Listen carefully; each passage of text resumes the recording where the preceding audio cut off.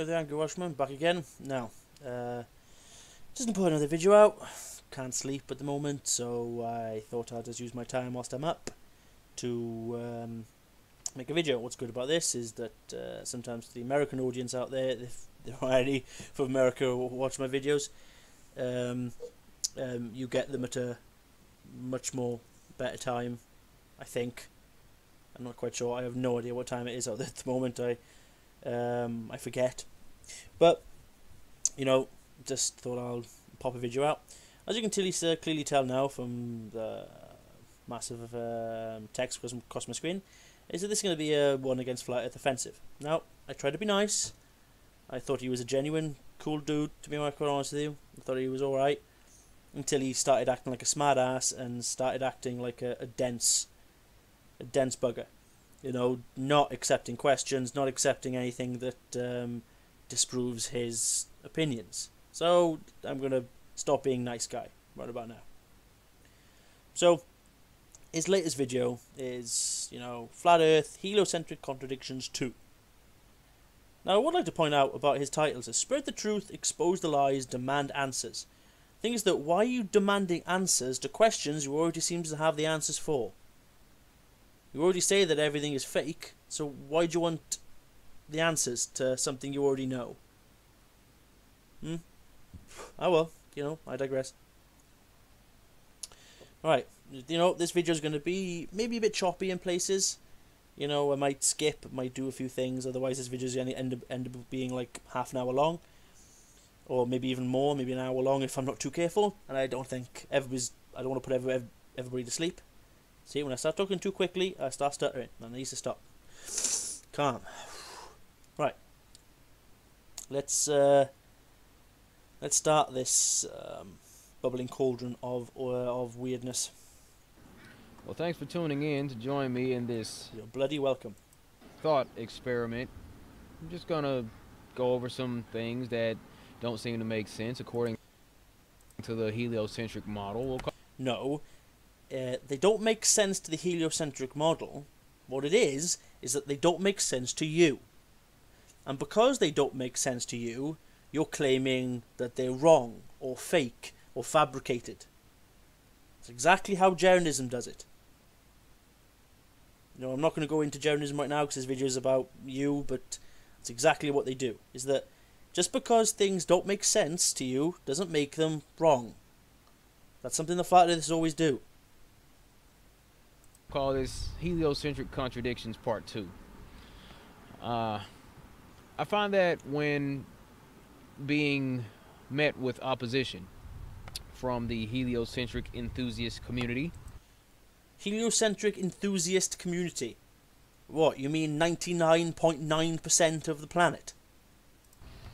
Uh, one of the things that people say quickly is that, well, you're wrong, the earth is round. They say that the Earth is round. Um, obviously, they mean to say spherical, but well, round can mean spherical. Just it's a gen. Now you're just being picky. You're trying to find something wrong there, which it doesn't exist. You're, you're literally just clutching at straws here to find any information to make people sound more incorrect for some reason or another, these individuals who hold so tightly to this globe model, they what? Uh, and you don't? You don't, you know, grasp this flat Earth concept tightly. The fact that I don't see any um, globe Earthers, or just let's say normal people, stick magnets and bloody posters to the side of their vehicles.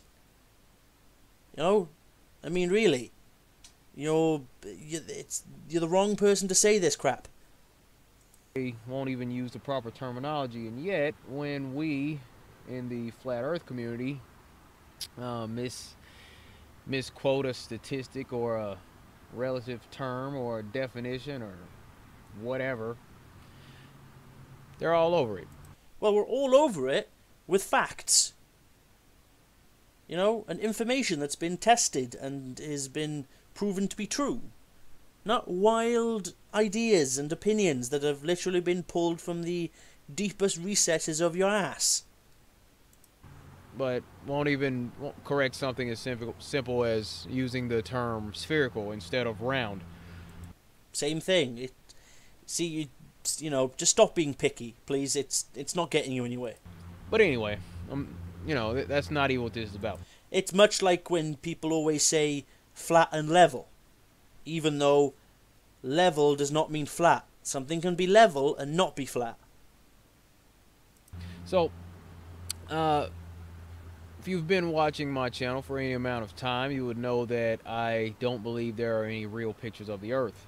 Well, tough shit. Uh, quick Google search will show you all these different pictures that come up, and you'll see the differences in shade of water to the size of continents. It's my belief. Well, the size of the continents thing is a perspective and distance thing. You know, basically, the closer you are, the bigger some things are going to look. It's just the way your eyes work.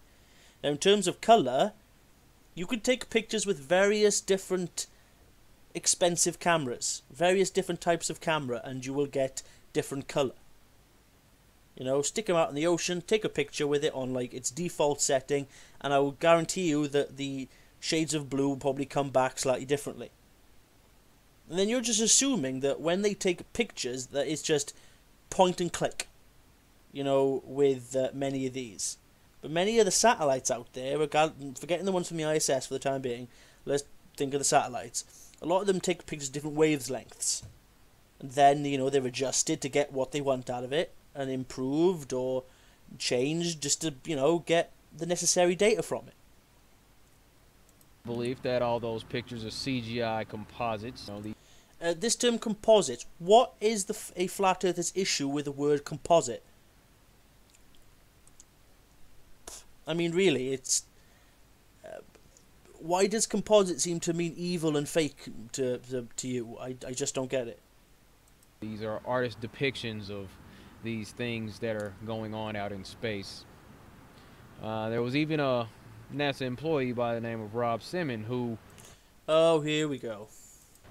Uh, we've all heard this quote where he says, "It is photoshopped, but it's it's has to be." And yet, during his description of his duties in being, uh, you know, the artist that he is for NASA in uh, putting these uh, pictures together, you know, there was also a point where he alluded to uh, the appearance of the Earth being flat. It just didn't look realistic. It looks kind of flat, looks kind of flat, looks kind of flat. Perhaps he said that because it is flat. Well, derive the term, please. It could have meant anything, that the colours were kind of flat, the shading was kind of flat due to the way the images were taken at the time. I mean, look, the this is the the this is the Himawari satellite. This doesn't look flat, does it? Because it's a very new camera. I think it's only been in space for a couple of years. And if you want pictures, look, here's 86.4 thousand of them for you to churn through. And obviously put through Photoshop and change the adjustments and claim that they're all fake based on your own opinion of what CGI is. Okay, but here we go. This is how the um, some early images of the Earth was were created with low orbiting satellites, weather satellites exactly, right? And he expl- this explains the reason on why when he came up with a singular image of the Earth, why it needed to be photoshopped is due to overlapping. Okay, so here's a short little video on the day of the life of a, of a weather satellite.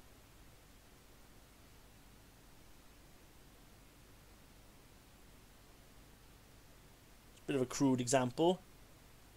But it's what, you know, gets on. So you see how it scans? And it misses certain bits? See? So here comes another kind of version of it. See? See how it misses bits? And overlaps in, in, in others? So this is primarily used for data in terms of weather patterns.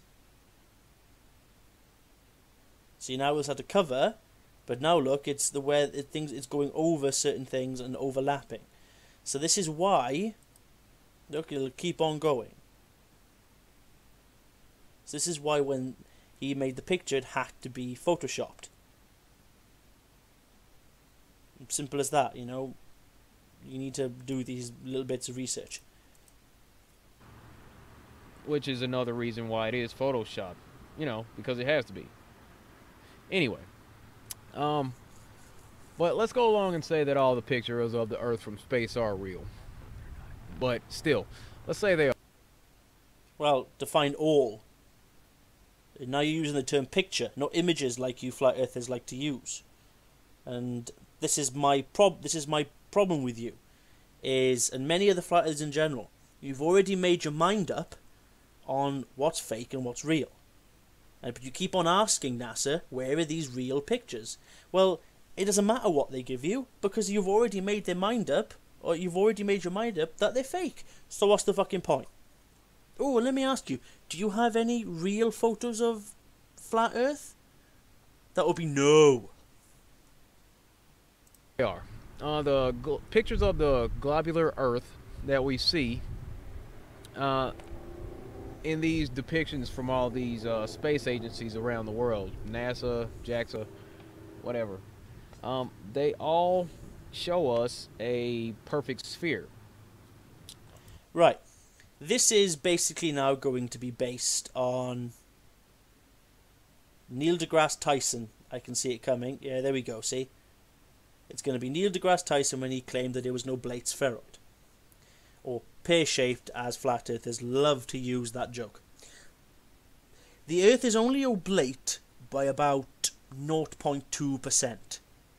It is not noticeable by the naked eye from any sort of distance, but it is there, which is why the Earth has never been called a perfect sphere. Still a sphere, it's still a spheroid, but it's still it's slightly oblate, very slightly.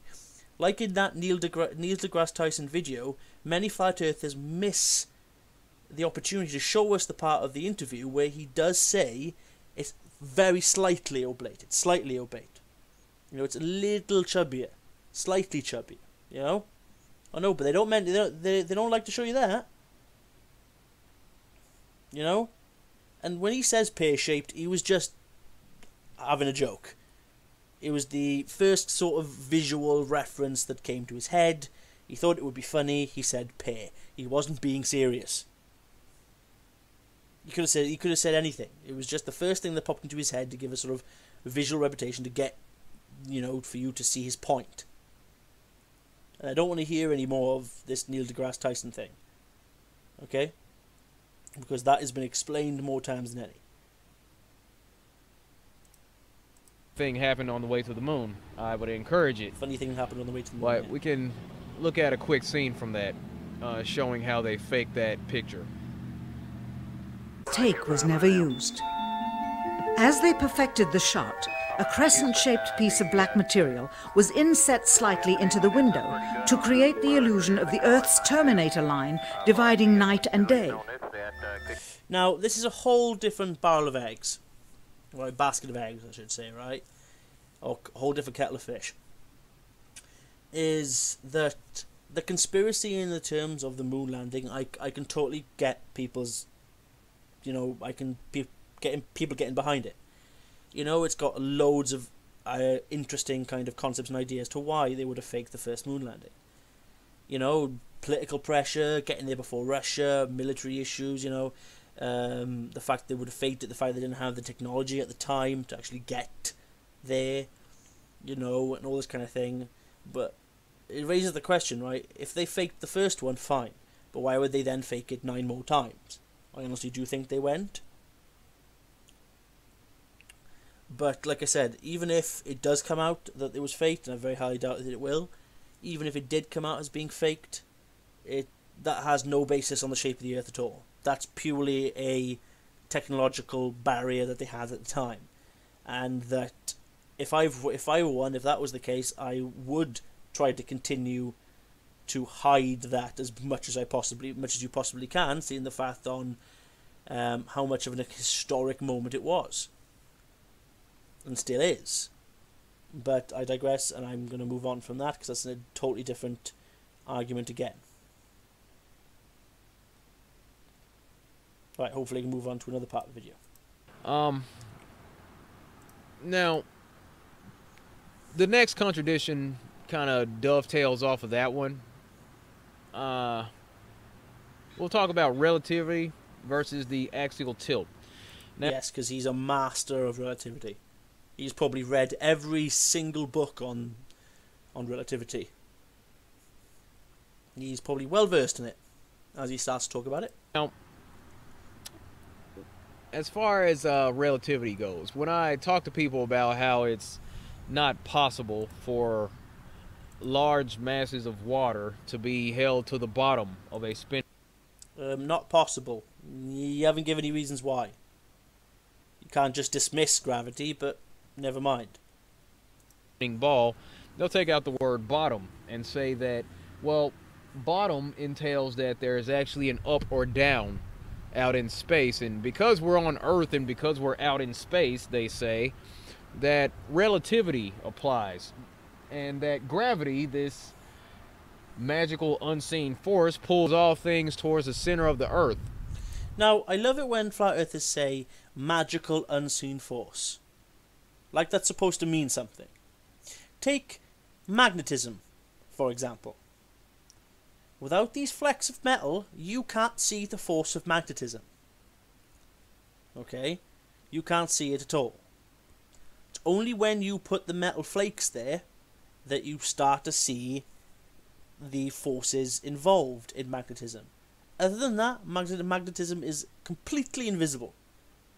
You can't feel it at all without the metal showing you the fields that are around. This is school book stuff. This is primary school stuff. But flat earthers don't seem, seem to have a problem with magnetism. But magnetism is the same as gravity in that sense. We, we can't see it, but we can see what it does. We can see what it affects. Hell, gravity can be measured. Do you people not understand that? That there are devices around nowadays that can measure gravity all over the Earth. And they can be measured to quite meticulous detail. But never mind, it doesn't understand it, that doesn't seem to matter to you people.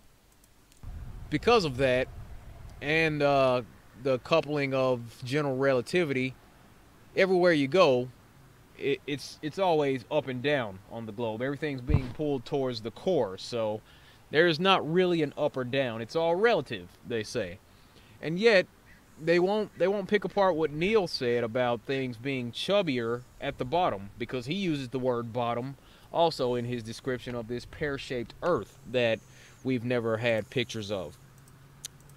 Which we have. But just because you think they're fake doesn't mean they are. So his words go against the idea of general relativity because, well, actually, let me back up. The pictures that we've gotten from all these space agencies, because they always show the North Pole at the top and the South Pole at the bottom of the globe, they always take these pictures as being right side up. Well, now you're just being picky again. What this is is the sort of accepted sort of direction, this accepted model. Basically, when they started to do north and south, it was generally accepted that north was up and south was down, which is why maps are seen that way. So that's why they say that go up the map, you get to the North Pole, go down the map, you get to the South Pole and this is why we see this as being top and bottom. Then they added this sort of thing to the globe with its um, with its tilt. Can't see a good picture at the moment of that, but let's just take some of that. So when they dissected that, um, you know, and dissected the Mercator map, and then when astronomy got uh, much more elaborate, they made, um, you know, the globes and everything at uh, at good detail after things were mapped. They took in that they kept the direction of up and down because there needs to be a model to make it easier to understand. You know, if they started selling maps that were tilted in certain ways, it things will get a bit of a problem. For example, if they started selling globes um, in shops, and the North Pole was tilted to its side, or the North Pole was pointing down, things will start getting a bit confusing. So they decided to settle upon a kind of accepted direction. You know, of the accepted direction, just to make things easier to teach, easier to learn. Okay, so that's just the way it goes. It's got nothing to do with conspiracy. as if we as we see them in textbooks.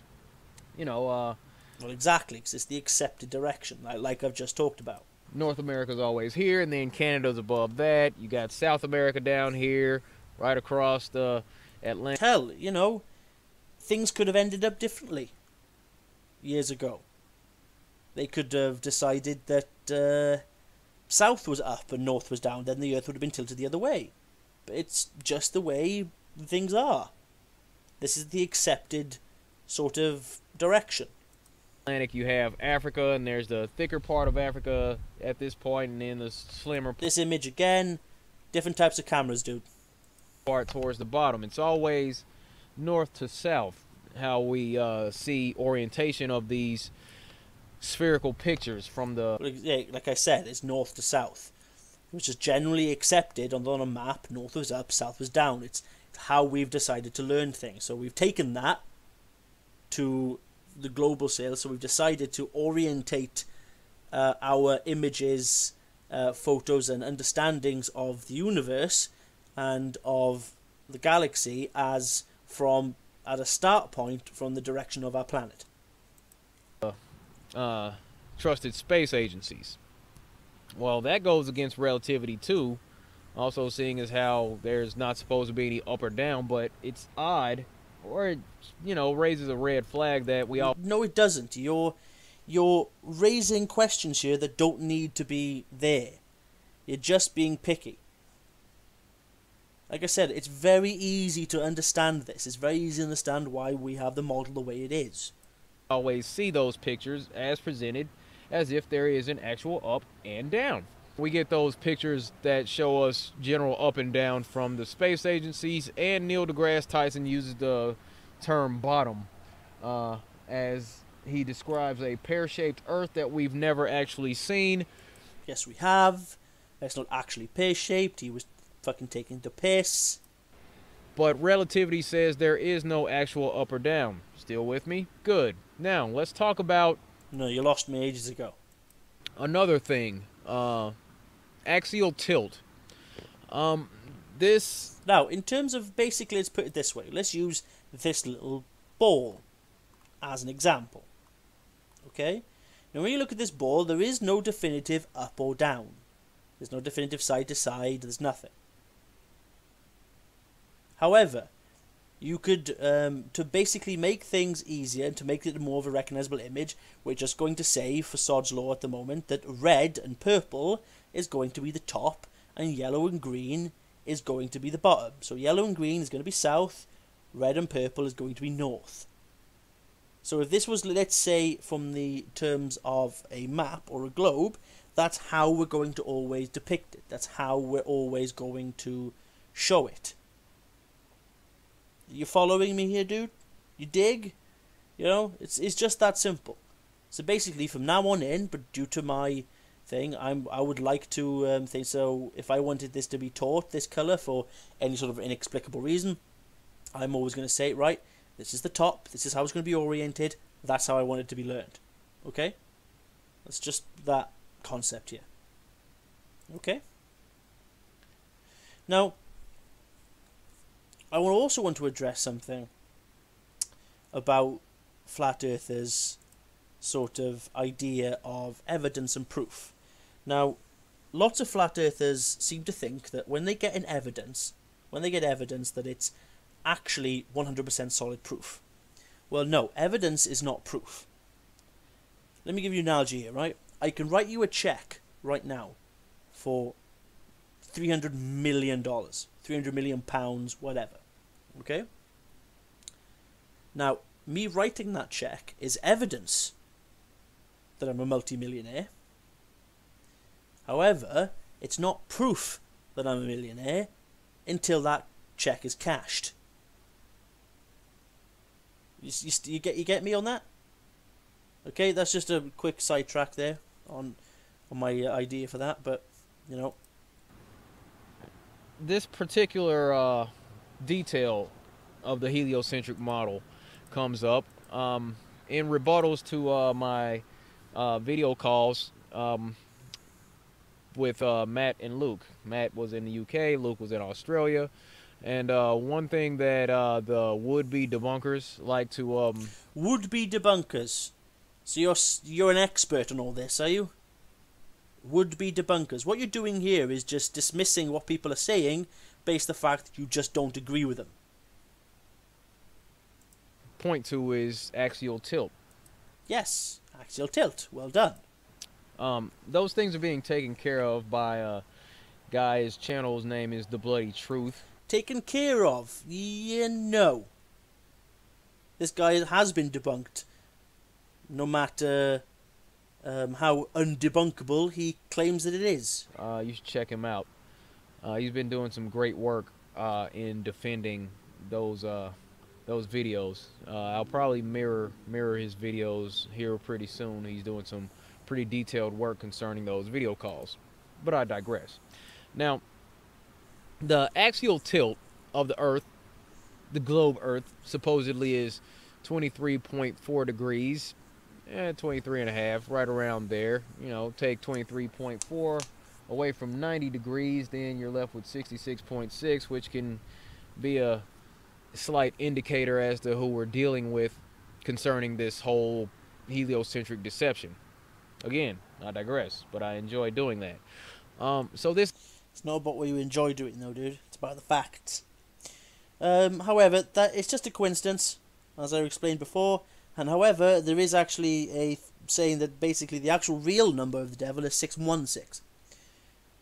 The reason why six six six is probably stuck around so long is it sounds cooler, and looks cooler, when you write it down. But never mind. This axial tilt, you know, an angle in order for an angle to be achieved. Now, uh, you you have 23.4 degrees. A measurement uh, in degrees is based upon a plane angle. That's how you get degrees. In order to, for me to be standing up, standing straight up at 90 degrees, that would mean there would have to be a base here. Then I like the fact that you you thought it necessary to demonstrate this like you're teaching like a like a load of two year olds. I stand at 90 degrees. Um, but out in space, there's no up or down. Now, is there? You know, not sure exactly what we're basing the axial tilt off of. Wait a minute. This is where people would say, well, we're, we're talking about the orbital ecliptic because the Earth spins. It, it's, it's like there's a axial plane out there. They kind of flattened out flattened out the uh, whole solar system to create this axial tilt, which is odd. But what's odd? You're not explaining what's odd. But still, you know, I I think that's bogus. Uh, it sounds. Give me reasons why it's bogus. You just you're claiming that it's bogus mainly on your opinions here. Like a bunch of BS to uh, justify other BS in my no, it's not there to justify another BS. It's just there. Opinion. Uh, you flatten out the solar system in in order to create this 23.4 degree axial tilt. Although at the same time you'll tell me while out in space everything is relative, there is no up. No, no, no, no. It. You're missing the point here. What is what? You see the um, galaxy here, right? This is the solar system, not the galaxy. Sorry, this is the solar system there's the Earth. The, uh, we're basing the axial tilt, okay, based on the orbital plane. You've just said that, and yet you've dismissed it. Now, the orbital plane is the path we take around the sun, okay? Now, due to observations from centuries years worth, th- hundreds, maybe even thousands years worth of astronomy, we've figured basically the orbit that we take around the sun and we figured out the orbits of the other planets. So basically, based on the direction and how we circle the Earth, that's our orbital plane. That's where the 23.4 degree tilt is then situated. You know, okay? You just said that, but then dismiss it based on nothing. And as you can clearly see from this depiction, other planets have a and have completely different um, axial tilts. Mars is pretty much pointing at 23.4 by the looks of it here. Saturn pretty much the same. Uranus seems to be at at um, at another 90 degrees axial tilt. You know, um, Pluto, don't know what the hell's going on there. And Neptune seems to be pretty much the same as the Earth in some very similar way. Venus seems to be its pole seems to be have shifted. You know, now this sort of thing is very easy just to look up. I mean, how quick do you think they came up with our understanding of astronomy? Astronomy was not just thought of overnight. Hundreds and thousands of years worth of observations, carefully and meticulously detailed and put together over time. Up, down, left, or right. That's what you tell me to justify water sticking to the bottom of a spinning ball, which is another just ridiculous thing that people believe, but not what we believe, it's it's just what is. You see the contradiction there? If everything's relative and there's no up or down out in space, how exactly in the blue blazes do you establish an axial tilt without any base? There's no base in space. I do rhyme from time to time. You're very funny. Yes, again, this is the accepted direction. This is the accepted orientation in which we give. It's easier to learn, it's easier to teach, it's easier to understand it this way. And you've just you just came up, you just mentioned the orbital plane, which is the circle that we take around thing. It doesn't matter if that orbital plane is basically tilted at if this doesn't matter if that orbital plane, right, is at ninety degrees or it's done a completely, you know, it's done a complete 180, or it's it it's tilted at 90 degrees to the left or 90 degrees to the right. That orbital plane remains the same. You know, the orbital plane, it's still the plane. So depending on the direction, you know, the planet would still have a 23.4 degrees axial tilt. This is just the direction. It's easy to understand. It looks nicer this way and it's less confusing when it's set at a standard. You know, you're just you're just trying to make things sound more complicated than it actually is. To try and make you sound like you're finding holes in something. Anyway, um, you know, what's what's the earth sitting resting upon to create this tilt? It's not what it's resting upon.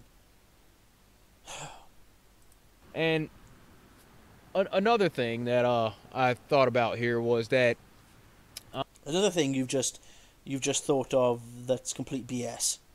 Um, gosh, sun's kind of bright out here. Uh, another thing well, that shit, I uh, consider with this whole axial tilt, relativity, fake pictures of space thing is oh, so grief. if in fact we are tilted on our axis at 23.4 degrees. The Earth is always depicted in these official photos uh, of this spherical globe Earth.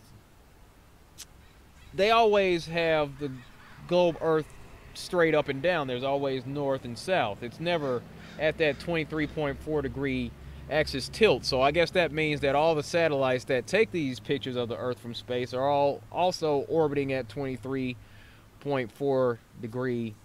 Uh, yeah, a lot of satellites do orbit um, literally the same way they orbit with the Earth's spin. A lot of other satellites do not. Now, your claim that there is no pictures of Earth at that 23.4 degrees axial tilt is a little bogus. Let me just go on this. You know, some of the that's showing a 23.4 axial tilt. Some of a lot of these are. You know?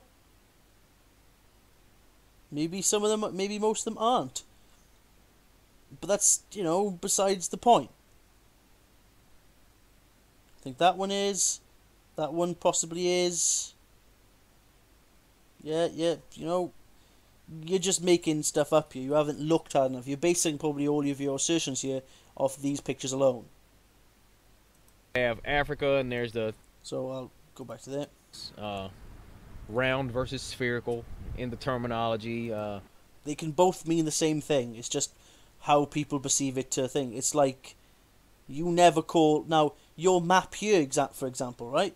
You used you. This is a round picture, but you people only ever use flat.